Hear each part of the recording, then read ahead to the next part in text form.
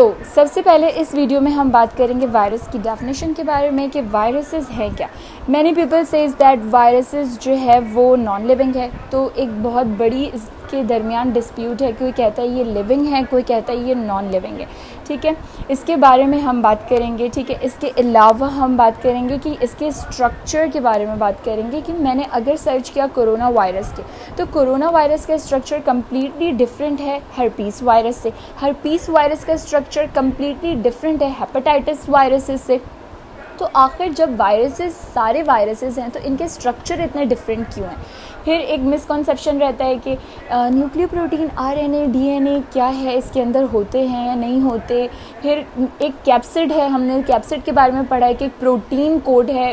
Envelope क्या चीज़ होती है? स्पाइक्स क्या चीज़ होती हैं? ग्लाइकोप्रोटीन इन नेचर की होती हैं? क्या होती है ये चीज़ें? ये सारी चीज़ें हम डिस्कस करेंगे। सबसे पहले अगर आपने मेरा चैनल सब्सक्राइब नहीं किया है तो इसे सब्सक्राइब करें बेल आइकन पर प्रेस करें और लेटेस्ट वीडियो के बारे में अपडेटेड रहें। थैंक यू सबसे पहले मैं आप लोगों को स्टार्ट करूँगी स्ट्रक्चर से। अगर हमें स्ट्रक्चर क्लियर हो जाएगा तो आगे चल के हमें सारी चीज़ें क्लियर हो जाएँगी। Different viruses possesses different structure ठीक है? एक स्ट्रक्चर नहीं होते लेकिन इनके अंदर मेन कंपोनेंट्स होती हैं जो कि हर वायरसेस में सेम रहती हैं बस इनकी शेपिंग अलग होती है। ओके okay, तो सबसे पहले हम स्टार्ट करेंगे स्ट्रक्चर स्ट्रक्चर ऑफ़ वायरस से ओके स्ट्रक्चर ऑफ़ वायरस में सबसे पहले हमें पता होता है कि या तो वो आरएनए होता है उसके अंदर जेनेटिक मटेरियल या फिर डीएनए होता है। कभी भी आरएनए और डीएनए साथ नहीं होते। तो अभी जो मैं ड्रॉ कर रही हूँ, इस केस में हम आरएनए रखते हैं, ठीक है?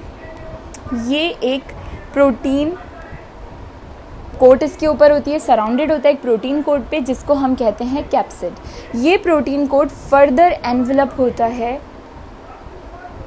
और ये एनवलप के ऊपर फर्दर कुछ वायरसेस में स्पाइक्स निकली हुई होती हैं। ओके सबसे पहले मैं लेबल कर दूँ, ये हमारा था न्यूक्लियो प्रोटीन न्यूक्लियो प्रोटीन ये वायरल जीनोम है। ओके ये चीज़ जो है, वो है कैप्सिड वायरल जीनोम कवर्ड है कैप्सिड पे। और कैप्सिड फर्दर कवर्ड है एनवलप पे।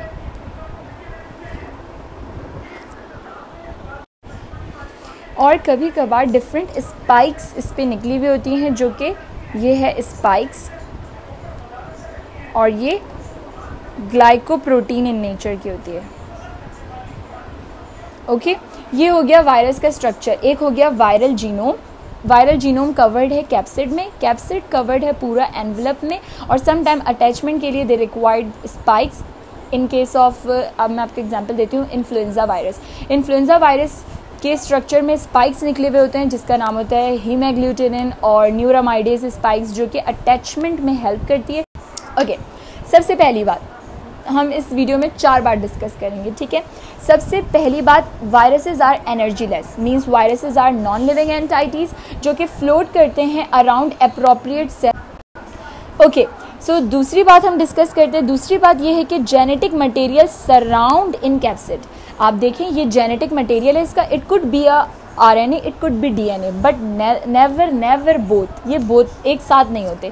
या तो ये आर एन ए होगा, या तो ये डी एन ए होगा, ठीक है?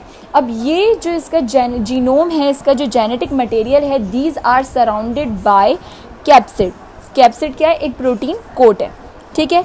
Viruses do not have organelles and ribosomes viruses के पास ना तो ऑर्गेनल्स हैं, यानी इसके पास ना सेल मेम्ब्रेन है, ना साइटोप्लाज्म है, ना गोल्जर बॉडीज़ है, और इस तरह के इसके पास किसी किस्म के भी ऑर्गेनल्स नहीं हैं। ना तो इनके पास राइबोसोम्स हैं कि ये प्रोटीन जो भी डीएनए के अंदर इंफॉर्मेशन है, उसके अकॉर्डिंग एंजाइम्स और प्रोटीन बनाना शुरू करें, इनके अंदर ये चीज़ भी नहीं है। इसीलिए ये डिपेंड करते हैं होस्ट के ऊपर। होस्ट की मशीनरी से ये राइबोसोम्स को कैच करते हैं और अपनी जो आरएनए के अंदर जितनी इंस्ट्रक्शन है, इनके जेनेटिक मटेरियल के अंदर जितनी इंस्ट्रक्शन है, उसकी रेप्लिकेशन स्टार्ट करा देते हैं। ठीक है? Certain viruses enclose lipid bilayer membrane okay मैंने आपसे कहा कि यहाँ पर एनवलप मौजूद है। ये लिपिड बाइलेयर मेम्ब्रेन होती है। कुछ वायरसेस जो हैं, वो अपने ऊपर ये एनवलप की कोटिंग रखते हैं ताकि ये अपने मटेरियल इनसाइड मटेरियल को सेव कर सकें। ठीक है? दैट सराउंड कैप्सिड आप नज़र आ रहे हैं आपको। ठीक है? These envelope may contain sometimes spikes these spikes और ये स्पाइक्स जो होते हैं, वो ग्लाइकोप्रोटीन इन नेचर के होते हैं अटैचमेंट में हेल्प करते हैं. Some viruses also carry structural protein and enzyme in their capsid कभी कभार क्या होता है, कुछ वायरसेस अपने, सिर्फ़ वायरल जीनोम के अलावा कुछ एंजाइम्स भी अपने पास रखते हैं. क्योंकि सम टाइम अभी हम आगे पढ़ेंगे तो पढ़ेंगे कि आरएनए दो टाइप के होते हैं single stranded double stranded double stranded की तो अलग केस हो गई. सिंगल स्ट्रैंडेड में भी दो टाइप आती हैं पॉजिटिव स्ट्रैंड नेगेटिव स्ट्रैंड ये आप मेरी वीडियो के नेक्स्ट पार्ट में पढ़िएगा। इस वाली चीज़ को स्किप करते हैं। हमें याद रखना है कि वायरल जीनोम के अंदर सर्टेन वायरसेस में क्या होता है? सर्टेन इंजाइम्स भी होते हैं जो ये अपनी अपनी बेनिफिट के लिए अपने सर्वाइवल के लिए अपने पास रखते हैं। जब इन्हें होस्ट मिल जाता है उसके राइबोजोम मिल जाते हैं। तो ये उस राइबोजोम को यूज़ करके इसकी भी साथ साथ ट्रांसक्रिप्शन करनी शुरू कर देते हैं। ओके okay, थर्ड बात अब हम स्टार्ट करते हैं। थर्ड ये कि जो वायरसेस हैं, वो या तो डीएनए होंगे या आरएनए होंगे नेवर बोथ या तो ये आपको जो नज़र आ रहा है मैंने आरएनए वायरस बनाया या तो ये आरएनए होगा या फिर ये डीएनए होगा। बट कभी भी आप आरएनए और डीएनए को साथ नहीं देखेंगे। ये हो गई हमारी तीसरी बात। एक और बात याद रखें कि these genetic material have instruction to make millions clones of original virus ये जो इतनी सारी रेप्लिकेशन हो रही है होस्ट के राइबोसोम को लेकर, उसकी मशीनरी को कैप्चर करके, ये सारी इन इंस्ट्रक्शन की जो है रेप्लिकेशन इनके अंदर जो भी इंस्ट्रक्शन है, उसके अकॉर्डिंग इस वायरस की रेप्लिकेशन के लिए होता है। वायरस के पॉपुलेशन रेट बहुत हाई होता है। दैट्स वाई ज़्यादातर जब हमें इन्फेक्शन होता है तो वो बैक्टीरियल के रेशो में वायरस का रेशो ज़्यादा होता है कि वायरल फ्लू हो जाता है। Okay okay. चौथी बात। चौथी बात और लास्ट बात ये कि replication of genetic material occur when viruses take control over host cell machinery जो मैं अभी स्टार्टिंग से कहती आ रही हूँ कि ये रेप्लिकेशन ये सारी चीज़ें, ये तमाम चीज़ें, ये इतनी आला शानदार कोटिंग ये सब बेकार है जब तक कि इसको, ये सारी यूज़लेस है जब तक कि इसको होस्ट रिक्वायर्ड नहीं है। जब इसे होस्ट रिक्वायर्ड हो जाएगा तो उसकी मशीनरी को कैप्चर करके ये अपनी रेप्लिकेशन स्टार्ट कर देगी। ये चार बातें इंतहाई इंपॉर्टेंट है। मैं लास्ट में रिपीट कर देती हूँ। सबसे पहली बात हमने कही कि viruses are energy less entities दूसरी बात हमने कही कि जेनेटिक मटेरियल जो है, इसका सराउंड होता है कैप्सिड से और कैप्सिड जो है, वो लिपिड बाइलियर मेम्ब्रेन जो है एनवलप जिसे हमने कहा है, उससे सराउंडेड होती है। Sometime certain viruses possesses spikes over their envelope तो वो स्पाइक्स क्या करते हैं? अटैचमेंट में हेल्प करते हैं और वो ग्लाइकोप्रोटीन इन नेचर के होते हैं। फिर तीसरी बात हमने कही कि इनका जो जेनेटिक मटेरियल है, वो डीएनए होगा या फिर आरएनए होगा, कभी भी दोनों एक साथ नहीं होंगे।